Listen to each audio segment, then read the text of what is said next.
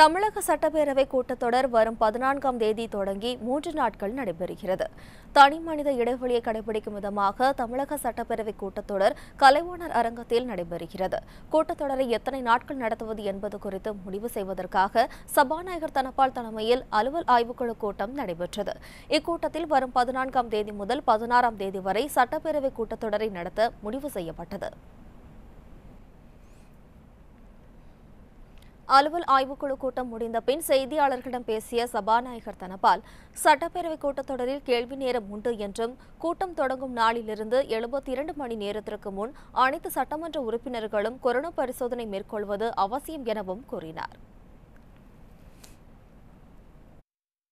நோய் தொற்று ஏற்படாமல் இருப்பதற்காக பேரவை கூட்டத்திலே கலந்து கொள்ள வரும் அனைத்து சட்டமன்ற உறுப்பினர்களுக்கும் பேரவை கூட்டம் தொடங்குவதற்கு எழுபத்தி ரெண்டு மணி நேரத்திற்கு முன்னதாக கட்டாயம் பரிசோதனை செய்து கொள்ளப்படும்படி கேட்டுக்கொள்ளப்படுகிறார்கள் பேரவை கூட்ட அரங்கில் பணிபுரிய வேண்டிய சட்டமன்ற ஊழியர்கள் பாதுகாவலர்கள் கூட்டத்திற்கு பங்கேற்க வரும் அனைத்து துறை அதிகாரிகள் பத்திரிகையாளர்கள் அனைவருக்கும் கொரோனா பரிசோதனை மேற்கொண்டு சான்றிதழ் நகல்கள் வைத்திருக்க வேண்டும் எனவும் கேட்டுக்கொள்ளப்படுகிறார்கள்